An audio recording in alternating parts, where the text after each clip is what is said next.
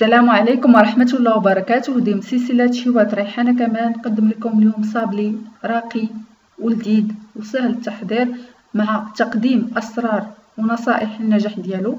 كما كتلاحظوا شكله في الصور صابلي اللي راقي وبسيط في نفس الوقت بمكونات سهلة وبسيطة. وغادي نقدم لكم الطريقة الصحيحة للتحضير ديالو.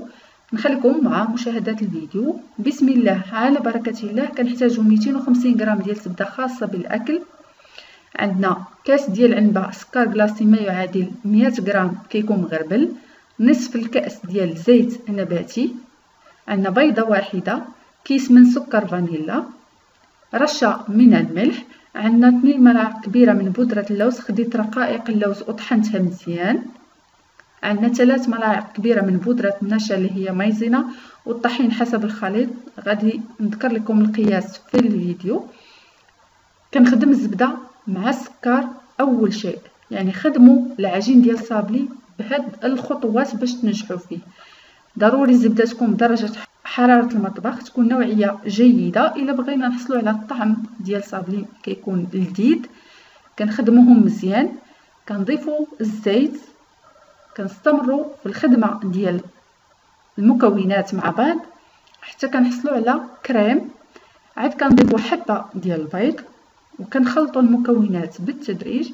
عاد غادي نضيف باقي المكونات اللي هي بودرة اللوز وبودرة النشا وكنخدموا. كنخدموا فقط بالأصابع. صابلي ما تستعملوش فيه الكف ديال اليد كتخدموا غير بالأصابع فقط. حتى كتنسجم لينا المكونات جيدا غير ضروري تكون الزبده بحرارة المطبخ باش كتخدم لكم مزيان. كتبداو كتضيفوا الطحين بالتدريج اللي كيكون طحين مغربل من قبل بالنسبة لهاد الكمية ديال العجين دائما كتاخذ ليا 550 غرام ديال الطحين اللي هي نص كيلو زائد 50 غرام. ولكن هذا راجع للطحين ديال كل سيدة. كنبقاو نضيفو الطحين بالتدريج كنحصلوا على قوام بهذا الشكل العجينه اللي هي طبا وفي نفس الوقت متماسكة ولكن ماشي قاصحه كنجمعوا الأطراف ديال العجين كنتأكدوا من القوام ديالها الطريقة باش كنتأكد كنوضعوا الاصبع ديالنا إلى ما لصقش لينا. صافي ما نضيفوا الطحين ونوريكم الطريقة الصحيحة لاحظوا معايا العجينة كيفاش كتكون. كنقسموا العجينة من الوسط كما كتلاحظوا ما كتلصقش يعني تفرقات بكل سهولة. إلا تلصقات وكانت كتجبد هذا دليل على أن العجينة عجنتوها. ديما العجينة ديال صابلي لازم تخدم بالأصابع فقط. الطريقة الصحيحة العجينة ديال صابلي. كنوضعوها في قطعة ديال البلاستيك أو في فيلم أليمونتير وندخلوها للثلاجه واحد 20 دقيقة. كنحتاجوا لهاد المول وهاد المرشم اللي راه جديد متوفر في الأسواق. خذوا نتوما الشكل اللي كيناسبكم يعني المهم هي العجينة كيفاش كتخدموها. كنحتاجوا لورق الطبخ أو قطعة ديال البلاستيك. العجينة بعد ما خرجتها من الثلاجه كنوضعها في ورق ديال الطبخ أو قطعتين ديال البلاستيك وكنبداو كنبسطوها بالدلاك. إلا كنا غادي نلاقيو صابلي كنديروا واحد السمك اللي هو رقيق. إلا كنا غادي نديرو غير قطعة واحدة كيكون عندنا سمك اللي هو متوسط ما كيبقاش غليظ بزاف. أنا ما غاديش نلاقيه لأن غادي نستعمل فيه شوكولا كنتأكد من السمك ديال العجين ديالي وكنزول القطعة ديال البلاستيك وكنبدا نقطع. دائما نقطعو وحدة بجانب الأخرى باش ما تبقاش لكم واحد الكمية ديال البقايا ديال العجين. وهذيك البقايا غير جمعوها فقط يعني ما تعجنوهاش غير جمعوها مع بعضها حتى تعاودوا تخدموها. كناخذ القطعة ديال العجين هذا هو الشكل المحصل عليه ونضعها في صفيحة ديال الفرن بها ورق الطبخ أو كنوضعها في صفيحة عادية.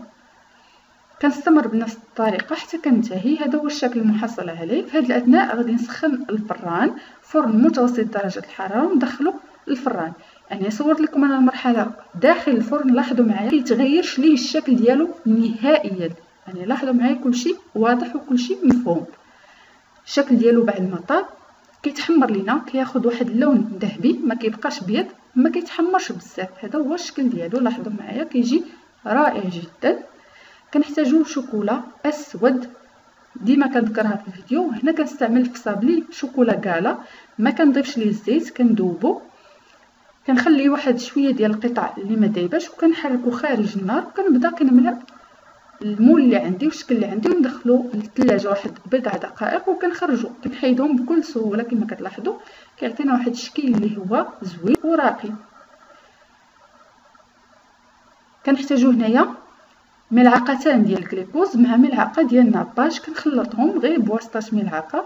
كندهنو القطعة ديال الصابلي بهذاك الخليط. وكنوضعو القطعة ديال الشوكولا.